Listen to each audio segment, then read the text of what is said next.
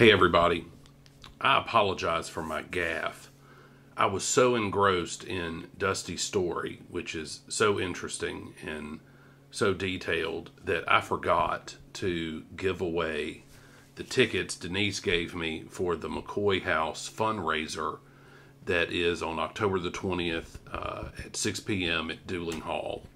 So here's the thing uh, I intended to do this during the middle of the podcast and just completely forgot.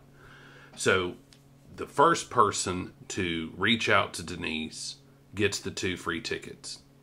She gave me authority and permission to give out her cell phone number, so y'all call her or text her 601 940 3411. It should be a pretty awesome time. They've got some music, a silent auction, food, a coffee and tea bar. So, again, Denise's number is 601 940 3411. Sorry about that.